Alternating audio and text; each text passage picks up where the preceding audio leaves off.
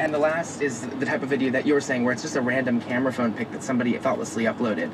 In terms of the common thread, I really think that it really just shows this display of how people commonly use the internet and how people commonly try to reach out and share their lives and just fail. Now, at the risk of sounding unnecessarily mean-spirited, would you say this is a storytelling problem or a life-living problem?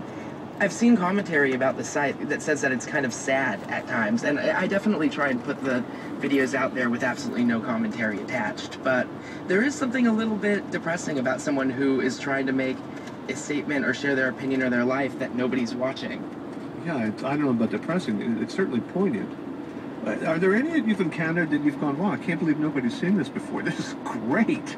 Uh, there's one that got a lot of comments on it, and it was these kids who had made a music video about their library card. And they, they, were singing a song called Having Fun Isn't Hard When You Have a Library Card. And a lot of effort had gone into this, and nobody was watching it.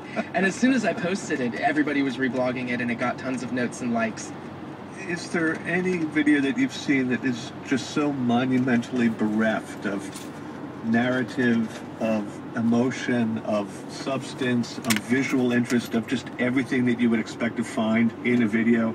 I think my number one favorite video that I've posted, it's about a 10 second video and I think it was titled Mr. Smiley or something along those lines. And it was just a picture of this guy's